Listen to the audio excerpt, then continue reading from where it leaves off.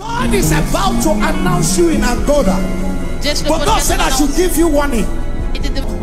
There is a glory on you. God wants to use you to be a major prophet.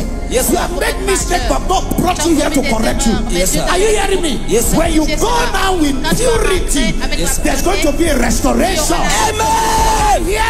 But the word in your mouth is going to be great. The prophetic will increase. Amen. The unction will increase. Amen. The Amen. love will increase. Amen. The grace will increase. Amen. Power is done. Isso é fé. Lift that hands up. If I be a true prophet of God,